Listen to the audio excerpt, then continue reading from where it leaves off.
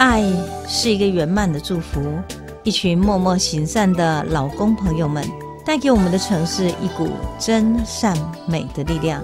欢迎收听《浙江狼的爱》，欢迎收听《浙江狼的爱》台南做工行善团，我是主持人王美霞。这是文化部影视局自播补助的节目，节目六十集将在每周一到周五上午十一点播出。欢迎您与我们空中相见。这个狼癌，我们邀请在台南十年以来一直在为弱势劳工服务的爱心行善团的这些的团员。那么这些的团员呢，他们默默的到目前为止已经做了两百六十一个案例。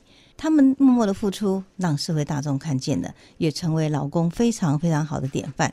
今天呢，我们所邀请的是大台南总工会的副理事长陈美静，陈副理事长，美静姐你好。啊，你好。我记得哦，这个我们在今年的大年初五的时候，曾经跟着我们这个美静姐呢，还有我们几位呢工会的理事长们，我们去做场刊。通常一个修缮案子呢，一定是先场刊之后做评估，评估之后排时程，然后动员整个工会，我们排整个今天要来做修缮的一个流程。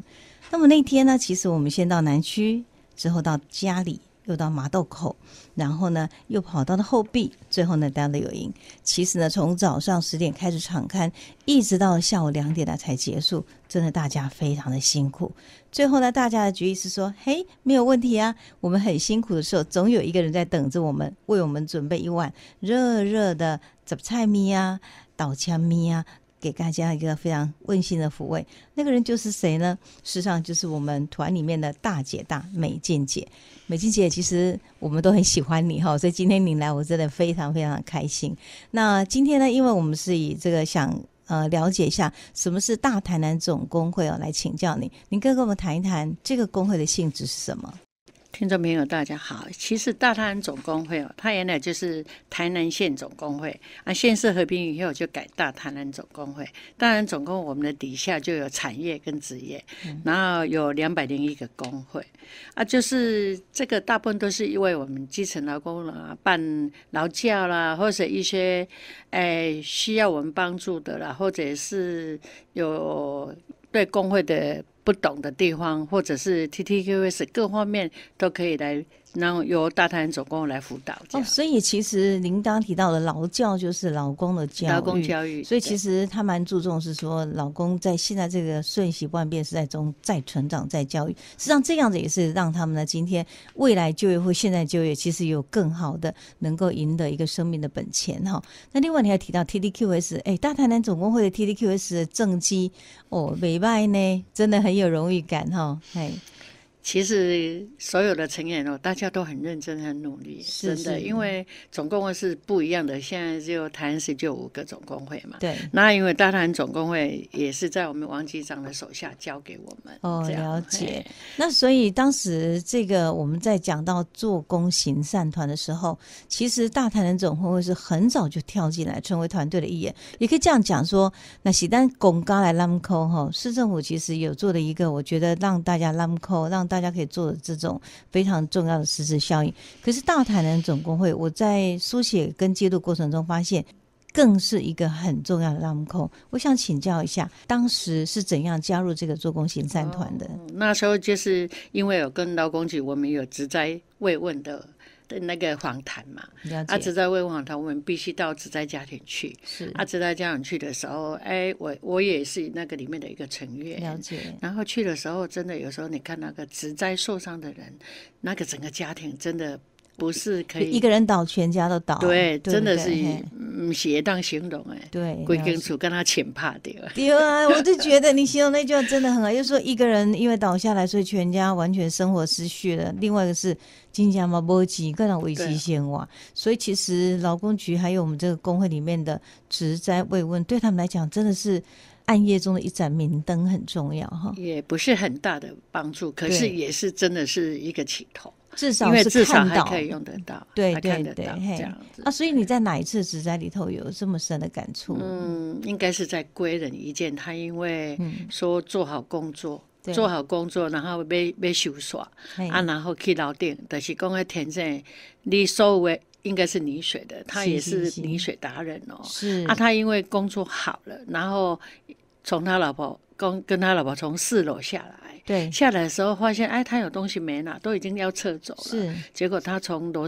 自己走跑到楼上，他老婆在楼下等他，这个爷为戏聊天，这笑天逗我，，你知道那种感觉，真的非常难过，非常难过。对对对，其实我们也是。光去慰问的时候，就眼睛就。觉得他已经尽责，不过来修，对为过来看嘛，拢结果看好啊给一给一波呢，嗯哈，都是对会想了去。对，那所以你去看到他们的家庭的状况是，就是他有两个女孩，嗯那两个女孩也是一个人啊。后来公司也是有让另外一个女孩回来家里，可以在家里上班。哦，在家上班也他顺便照顾一个比较弱势的妹了解了解。所以因为这样的职灾看过太多之后，所以当王局长他觉得好像大台南总工会也是在倒沙岗做修缮那些，你们就义不容辞跳进来，是不是对我，？我回来的时候就跟王局长讲说，你看一个职灾个案哦，影响整个家庭。是啊那那真的是很难再起来，我们是不是有办法？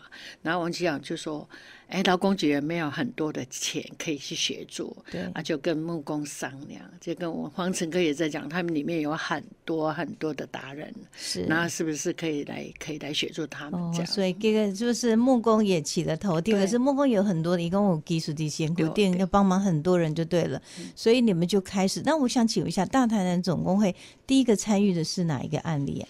第一个参与的就是在那和顺国小，好像我那时候我看到你们哎，和顺国小有有，哦那那时候你们就帮他们开始了协助他们窗户啊什么的。哦，了哎解。那其实应该这样说，如果因为我们在整理我们修缮团的大事记的时候，和顺国小算前奏曲哦。第一个，第一个那它虽然是前奏曲，所以整正式的爱心行善，我对们的修善团的第一案例，你们就已经参与了。对。那所以在这个参与的过程中，哈，我想请问一下，我们目前大台南总工会帮忙的是哪些的品项，哪些的内容？哪些的品相，大部分就是说我们去的时候看看，而且他们在工作的时候，我们会给他一些嗯需要我们协助的，比如说人力的协助或是各方面的协助这哦，样哦。了解。啊，不然就是要想办法去怎么去把这个讯息传达，让整合好朋友来人力。整合人力，整合、哦，整合 money 进来，这样。所以所以其实哈，我们在这过程中也透过美金节哈，真的有很多好的资源进来，